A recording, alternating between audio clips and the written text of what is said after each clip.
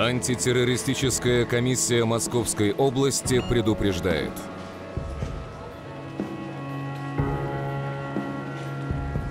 Если вы заметили подозрительных лиц, необычное поведение окружающих или бесхозные вещи,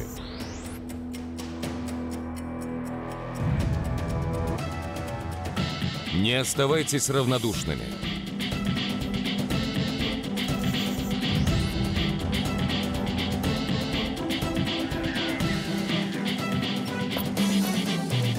Звоните в службу спасения Московской области. Промедление может быть опасно.